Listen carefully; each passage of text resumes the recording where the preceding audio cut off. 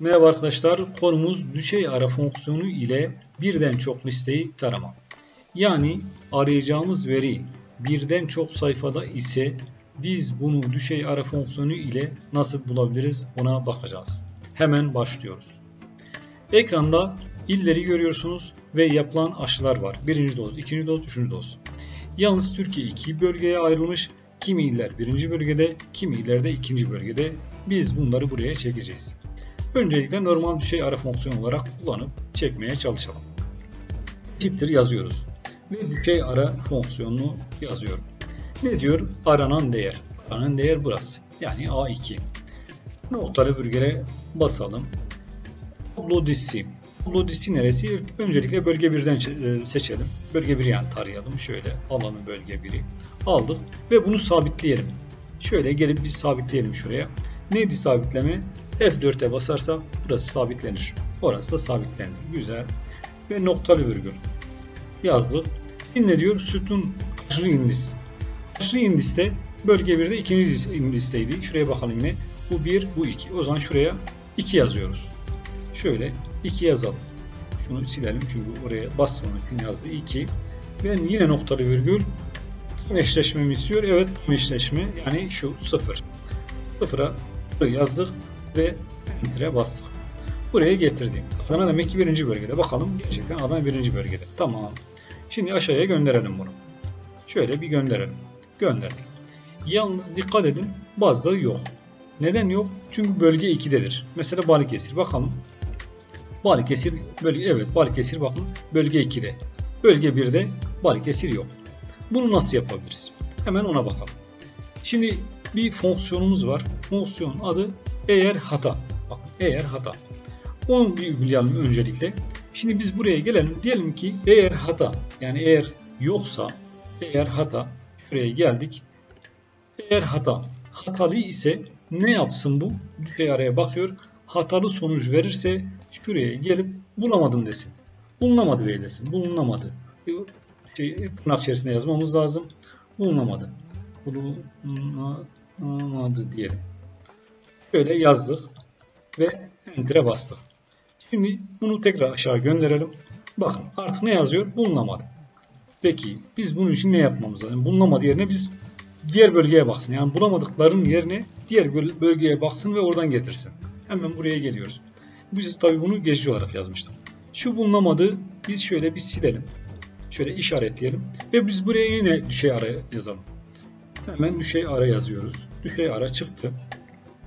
Aranan değer. Neresi aranıyor? Yine burası. Biz şu anda buradayız. Burası. Burası aranıyor. Peki ondan sonra noktalı virgül koyduk. Ne diyor? Tablo dizisi. Bu sefer bölge 2'yi seçiyorum ben. Bakın bölge 2. Geldim bölge 2'yi seçtim. Ve bunu da sabitleyeyim. Şuraya geldim ve bunu da F4'e bastım. F4'e bastım. Bunu da sabitledik. Tamam. Sonra ne yapıyor? Kaçıncı indis diyecek. Bakın şu yanlış noktalı virgül yanlış koyduk. Şu tarafı koyacağız. Şöyle geldik. Bakın kaçıncı indis diyor. 2 idi zaten. Ve yine noktalı virgül tam eşleşme istiyoruz. Yani 0 yazıyoruz ve enter'e basıyoruz. Enter'e basalım. Tamam burada şey hata hatasını veriyor. Parantez eksik. Siz tamamlayın dedik. Tamam bilgisayar tamamladı. Şimdi bakın şuraya gönderiyorum. Hepsini doldurdum. Yukarıda çekebiliriz. Şöyle şöyle yukarıda çeken birebir aynı formüller olsun. Bakın farklı sayfalarda olmasına rağmen verileri çekmiş olduk. Hemen öbür tarafları da dolduralım. Ne yapıyorduk? Şöyle çekelim. Hatta ilk önce sabitlemeyi tamamen bitirelim. Nasıl yapıyoruz sabitlemeyi? Şimdi buraya geldik. A2. Şu A2 değişecek mi? Sadece satır değişecek. Sütun değişmeyecek. O zaman ben A'nın önüne dolar koyarsam ben bunu sabitlemiş olurum. Sabitledim. Bu sabit zaten. 2 zaten öbür tarafa geçtiği zaman değiştireceğiz. Ve enter'e burada da pardon burada da A2 var. Şunu da sabitleyelim. Şöyle dolar koyduk. Enter'e bastık. Şimdi bakın şuraya çekelim. Çektik. Şuraya geldik. Bakın burada A2. Gerçekten de burada A2 değişmedi pardon. Şurası ne olacak? İkinci doz, üçüncü indis olacak. Yine bakalım. Şöyle şuraya gelelim. 1, 2, 3. Bir de 4 olacak. Hemen oraya geliyoruz. Şu ne olacaktı? Şu 2, 3 olacak. Şöyle dedik. Ve şurada da 3 olacak. Şöyle yaptık. Ondan sonra buraya da geldik. Şu ne olacak? 4 olacak bu sefer. Şöyle 4 olacak. Şurası da 4 olacak. Son bir şey de yapalım. Formülün güzel görünmesi için okunurluğunu biraz arttıralım. Nasıl arttırıyorduk? Şuraya geliyoruz. Eğer hata ve alt enter'e bastım. Hemen aşağı aldı.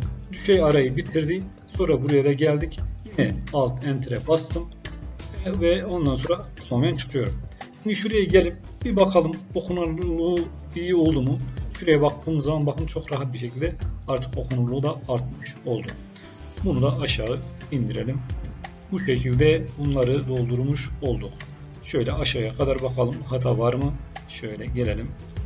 Hemen şöyle baktık. Bakın bulunamayan yok. Bu dersi anlatacaklarım bu kadar. Umarım faydalı olmuştur. Başka bir derste görüşmek dileğiyle hayırlı günler dilerim.